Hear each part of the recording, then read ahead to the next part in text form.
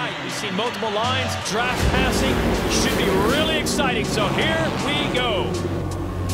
Oh, this is spectacular. Here in front of a huge crowd in a key race, and every single turn they're scrapping for the lead.